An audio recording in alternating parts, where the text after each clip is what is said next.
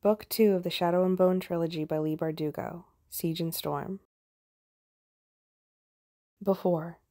The boy and the girl had once dreamed of ships long ago before they'd ever seen the true sea.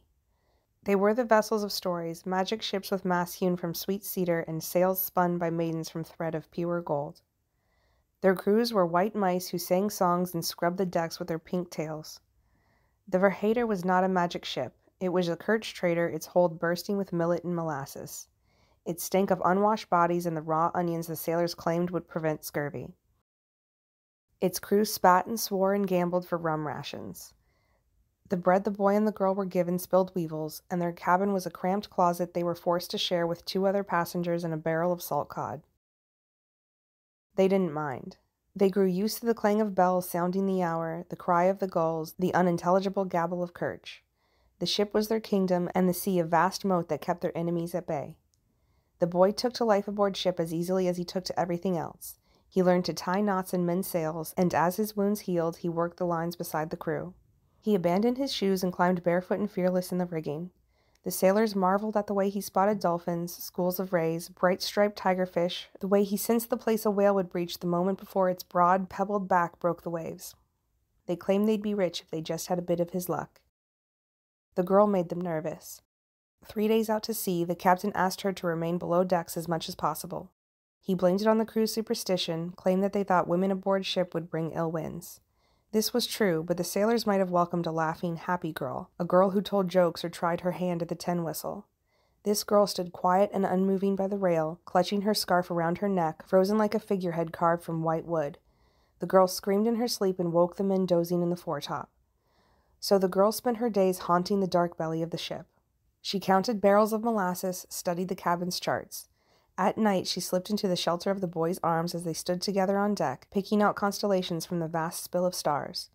The hunter, the scholar, the three foolish sons, the bright spokes of the spinning wheel, the southern palace with its six crooked spires. She kept him there as long as she could, telling stories, asking questions, because she knew when she slept she would dream. Sometimes she dreamed of broken skiffs with black sails and decks slick with blood, of people crying out in the darkness. But worse were the dreams of a pale prince who pressed his lips to her neck, who placed his hands on the collar that circled her throat and called forth her power in a blaze of bright sunlight.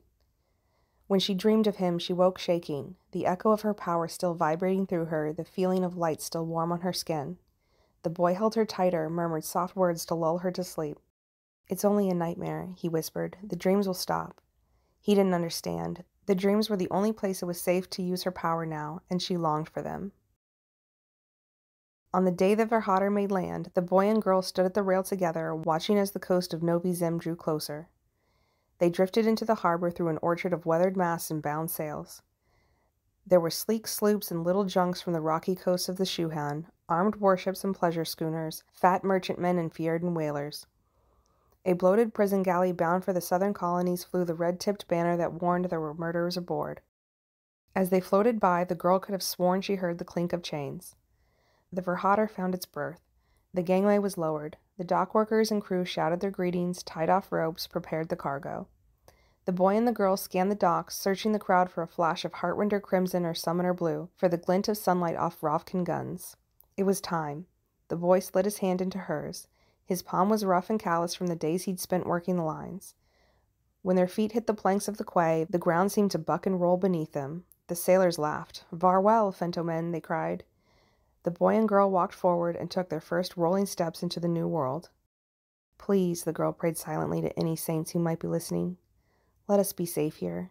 Let us be home.